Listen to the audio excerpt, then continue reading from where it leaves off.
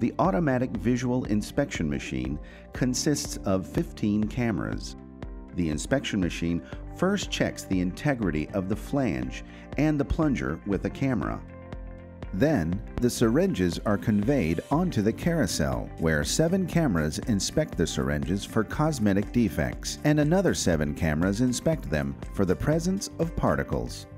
The vision system makes use of polarized light to detect the reflecting particles and non polarized light for the darker particles. Cameras are able to identify defects like fibers, glass fragments, stuck particles, cracks, and scratches of size about 10 microns. Defective syringes are rejected. At the exit, each tab is provided with a blue label to signify a successful visual inspection.